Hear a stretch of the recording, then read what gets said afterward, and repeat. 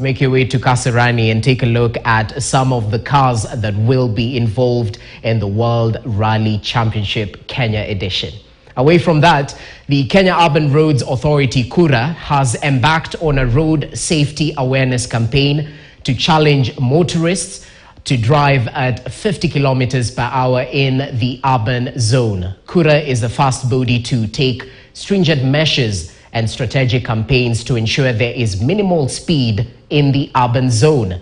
The campaign, which started in earnest, was launched in Nyeri, Kiganjo, and Naro Moru town.